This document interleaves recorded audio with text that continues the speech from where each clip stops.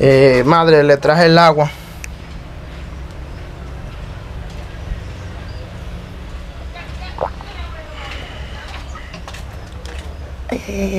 ¿Qué pasó?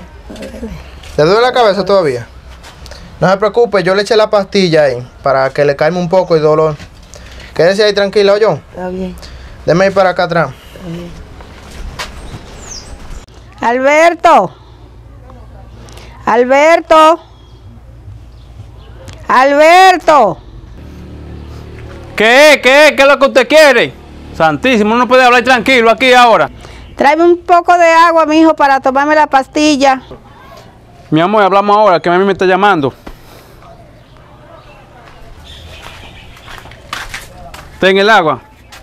Ay, gracias. Mami, yo no sé por qué usted me llama cada vez que estoy hablando por teléfono. Pero es que yo necesitaba el agua para tomarme la pastilla. Tú sabes que tengo que tomármela todos los días, mi hijo. Pero que usted me llama cada vez que hablo por teléfono. Llámame cuando yo estoy sentado o algo, pero santísimo. Uno puede estar tranquilo aquí. Llama- llamando y llamando. No, mi hijo, pero es que yo no sé que tú estás hablando por teléfono. Yo te llamo cuando te necesito solamente. No, no. Si yo estoy hablando por teléfono, no me llame. Wow, Dios mío. ¿Qué, qué tan importante tú hablas por teléfono que no pueda venir a traerme un chin de agua para yo tomarme esa pastilla? Tú sabes que me la tengo que tomar todos los días. Pero yo sé, mamá. Oye, lo que pasa es que usted llama mucho. Usted tiene que dejar de llamar. Ah, pero si yo no puedo hacerlo, tengo que llamarte a ti, mi hijo. Si usted llamara un día, pero usted a cada rato, a cada rato, eso cansa.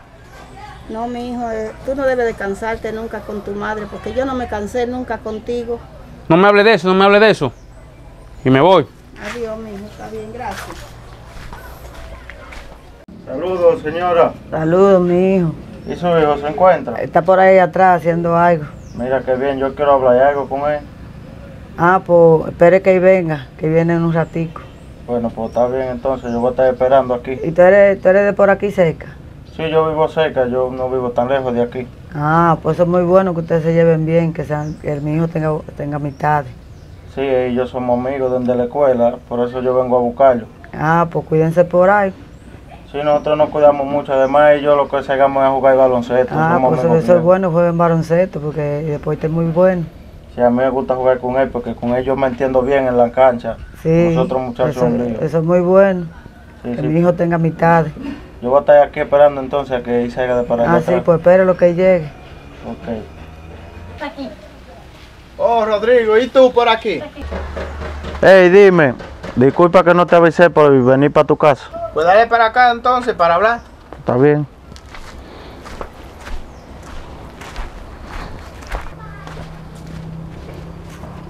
Eh, dime, ¿a qué viniste? Vine por aquí a ver si tú querías jugar baloncesto conmigo hoy. Bueno, hay un problema. ¿Qué pasó? El problema es que mi madre está un poco enferma y debido a eso no puedo salir, tú sabes cómo es las cosas. No Bueno. puedo irme a jugar estando ella aquí enferma. Así mismo, porque la madre es lo más importante que uno tiene, tú no la puedes dejar sola a ella ahí. Claro, se ve un poquito raro. Eh, pues ve a la casa de Alberto, háblate con él a ver si quiere ir. A mí no me gusta mucho jugar con Alberto, no, yo no me entiendo bien. Ajá, pero el problema es que yo no puedo ir, yo te estoy explicando cómo es. Bueno, me tocará entonces hablar con él a ver si él quiere jugar conmigo. Bueno, tú le dices a él a ver si él quiere. Sí. En caso de que él no quiera, mañana veré si mi madre está un poco mejor y ahí tal vez yo pueda ir. Bueno, quiera Dios, porque yo contigo que me entiendo bien jugando en la cancha. Yo también me entiendo bien contigo, pero imagínate, para mí mi madre es lo más importante. Y un simple juego yo no lo voy a dejar él sola. Ah, mira qué bien, pero ¿y para qué esto aquí? Ah, esto lo estoy arreglando por meter unos animalitos. Ah, mira qué bien, entonces. Cuando no estás jugando así, tú te embullas ahí. Sí. Pues habla con Alberto y dile a ver si quiere, ya tú sabes. Bueno, pues yo voy a la casa a ver si los hallo. Tú sabes que ahí no para ahí. Déjame ahí. ¿Está bien? Cuídate. Está bien. Señora, ya me voy. Ah, sí, ya está bien, mi hijo. Mire, estuve hablando con su hijo y me dijo que le estaba doliendo la cabeza. Sí, ella me dolía un poco. Ah, pues espero que se mejore. Déjeme Sí, llegar ella a me, la casa. ya me estoy mejorando un poco. Ok. Vaya bien. Alberto. Alberto. Voy. Ven acá. Dímelo, Rodrigo. Yo vine por aquí a buscarte que no vamos a jugar. Yo pensaba que tú te ibas a quedar. Pues vámonos de una vez. Tú estabas esperando. Vámonos, vámonos. Vámonos, eh, prepárate. ¿Y Ariel?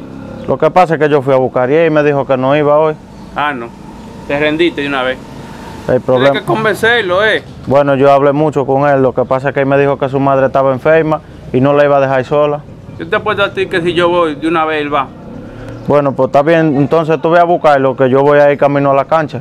Sí, sí, vete adelante. Pues está bien, yo lo voy a déjame. convencer y tú verás que yo lo voy a convencer. Ah, pues quiera Dios entonces, Pues está, está bien. bien. Déjame ponerme unos tenis.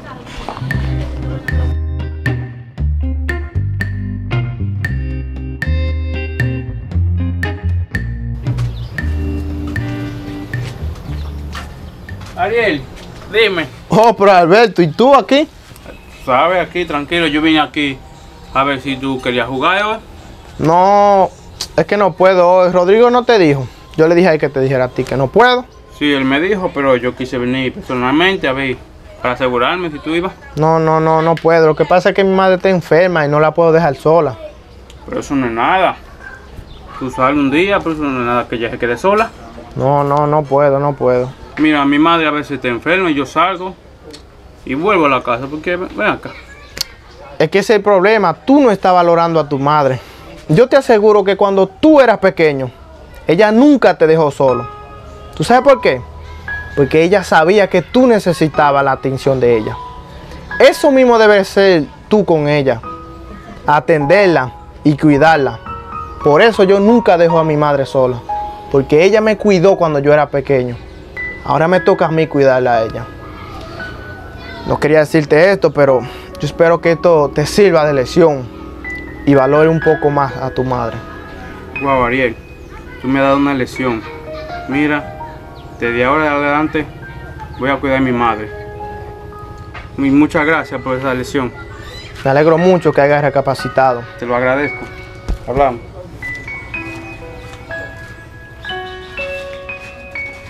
Madre, Dime, mi hijo, quiero decirle algo. dime, Yo creo que yo no he sido un buen hijo para usted. ¿cómo así, mi hijo? ¿Por qué tú sientes que no has sido un buen hijo?